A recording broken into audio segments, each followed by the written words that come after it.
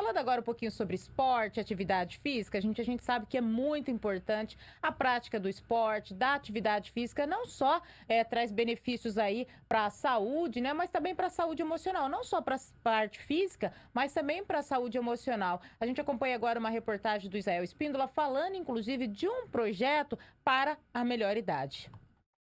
Depressiva, angustiada e todos os problemas emocionais que ao longo da vida vai nos castigando. Essa era a vida da dona Vera Lúcia dos Santos, de 65 anos.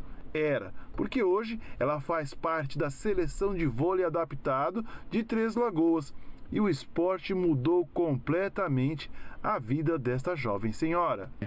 Ah, muito parada. Parada só em casa, né, só trabalhando. Aí e ficava meio depressiva Aí depois que eu comecei a treinar, já fazem mais de oito anos que a gente treina, né? Aí melhorou muito, muito mesmo minha vida, muito, em todos os sentidos. Esses vovôs e vovós fazem parte de um projeto que insere o esporte na melhor idade.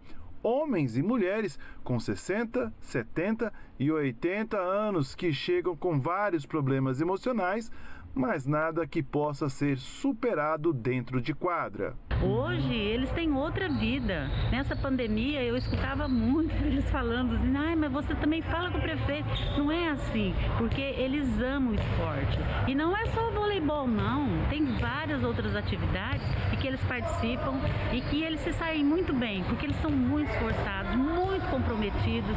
O mais gostoso é que eu aprendo com ele todos os dias e eles esforçam em tudo que eles fazem. As atividades são para a turma de 60, de 70 e também de 80 anos. E engana-se que esta seleção não cobre por resultados nos campeonatos, dão o melhor de si para colocar Três Lagoas no pódio mais alto, em primeiro lugar.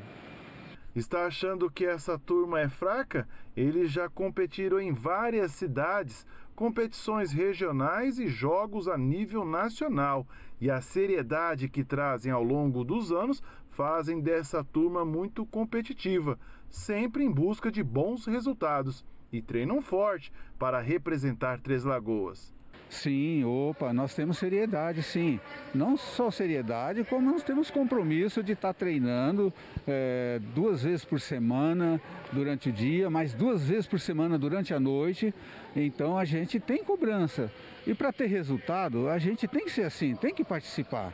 E isso é bom também para a gente, para melhorar a nossa saúde, nosso desenvolvimento do dia a dia eles sempre saem daqui para ganhar.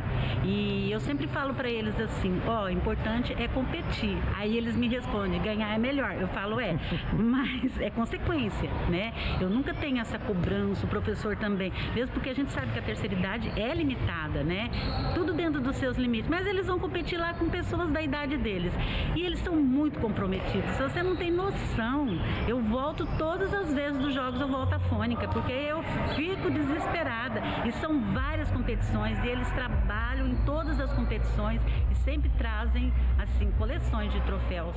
E você que vive reclamando de dores, ouça o que a dona Sônia, dona não, a atleta Sônia disse sobre as dores da vida. E a senhora, jogadora de vôlei, tá com alguma dor?